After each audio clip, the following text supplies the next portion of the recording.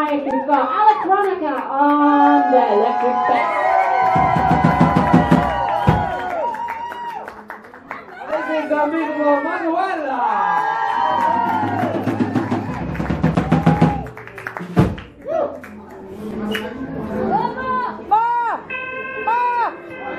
Please,